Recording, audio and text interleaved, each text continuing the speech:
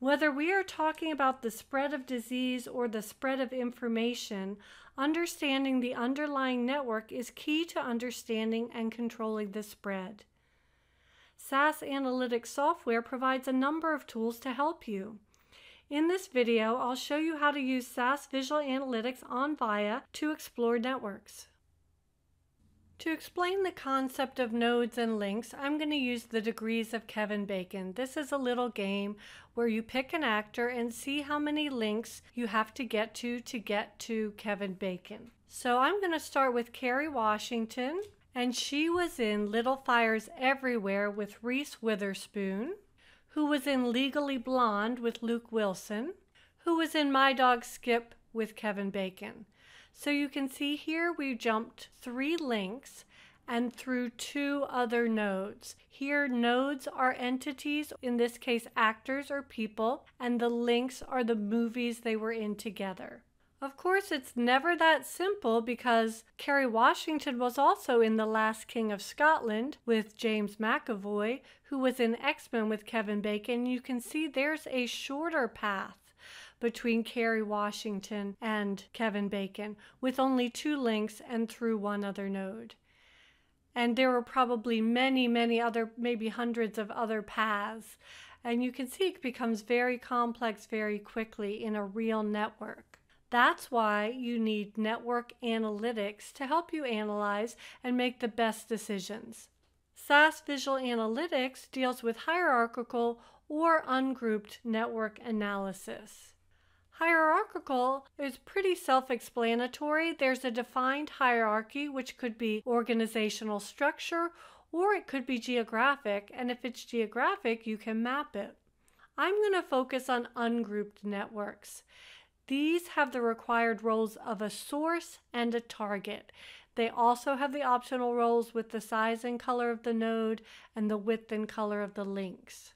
There are a number of network analysis metrics that are created automatically for you. These include disconnected network ID, community, and four centrality measures reach centrality, closeness centrality, stress centrality, and betweenness centrality. I'll go through each of these individually with an example. Here is some notional sample data that we can imagine is a bunch of people who work at different care centers.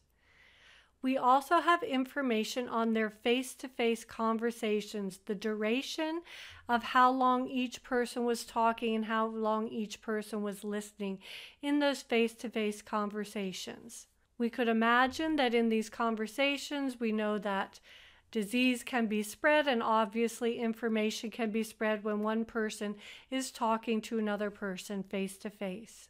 In the left pane of Visual Analytics, I can select my Objects pane and I can search for Network and I can drag my network analysis onto my canvas. In my right pane, you see my roles, and for source, I'm going to use Talker, and for target, I'm going to use listener. And now I can see I have a large network, actually two different disconnected networks. And I can get a disconnected network ID by selecting color, disconnected network ID. Now you see I have my zero and my one. I can look at who these people are under my options I can select data labels and maybe I want to make those 14 in bold. And I see that everyone is connected except over here I have Chuck and Wilson. They're on a separate island and they are not face to face talking with any of these other people. I'll go ahead and uncheck my data labels, go back to my roles pane, and I'm going to replace the disconnected network ID with community. Now I can see I have five communities 0, 1, 2, 3, and 4 in blue, yellow, green, purple, and orange. And even though some of my members are connected, they are in separate communities because some are much more highly connected. So we have four really highly connected clusters and then a completely separate cluster, the cluster 0. To illustrate the centralities, I'm going to do some filtering here. So I'll go to my Filter tab, add a new filter.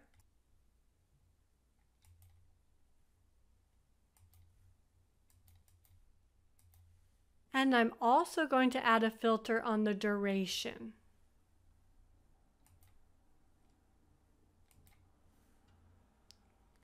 So I'm only going to include face to face conversations for 10 minutes or more. You see, this has reduced this down to a more manageable size, and I can move these around. I select an item and slide it. Now that I have an easily viewable shape, I'm going to select my reach centrality. Reach centrality is the number of links between a node and the farthest connected node on the shortest path. The range is from 0 to any whole number greater than or equal to 0. In our example, we see that there are between 1 and 2 links between all of these. So if we roll over this little dot, which is only has a reach centrality of only 1, we see that's Olivia. All of the others have a reach centrality of 2. That means that Olivia is only one link away from every other node in this network. Whereas these others can be up to two links away from other nodes, other individuals in this network. Next, I'll look at closeness centrality.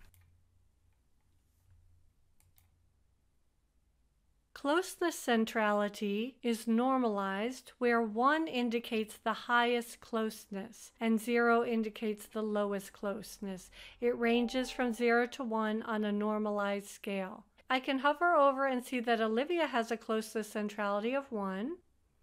Otis has a closeness centrality of 0.75. Olive has a closeness centrality of 0.25, etc. Next, I'll look at stress centrality.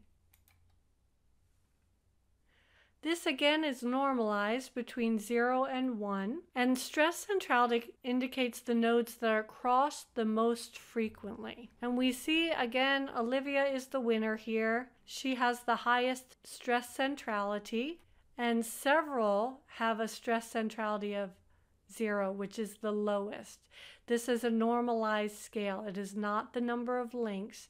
It is a normalized scale from the highest, the node that is crossed most frequently, to the lowest, the nodes that are crossed least frequently. And finally, I'll look at betweenness centrality. Betweenness centrality is very similar. The nodes that are crossed most frequently get the highest score, but this also accounts for multiple paths between nodes. So in summary, the reach ranges uh, from 0 to infinity, the closeness ranges from 0 to 1, the stress ranges from 0 to 1, and the betweenness ranges from 0 to 1. Those are all on a normalized scale. But we can see in this example, if we were interested in the person who is most important to spread, whether it's the spread of disease, the spread of information, which person would you pick? we see it's not even a toss up. We can see that one particular node has the lowest reach, the highest closeness, the highest stress, and the highest betweenness. If we roll over our nodes, we can see that Olivia has the potential to be our highest super spreader, and her closeness centrality is 1. This was just a small example with a few nodes, but when we have even more nodes in a larger network, these centrality measures become even more important in helping us understand what's going on. Even with a more complex network, I can see who has the highest capacity for spreading, whether that be information or germs or other things. For more information, see these links. This has been Exploring Networks with SAS Visual Analytics. I hope it was helpful.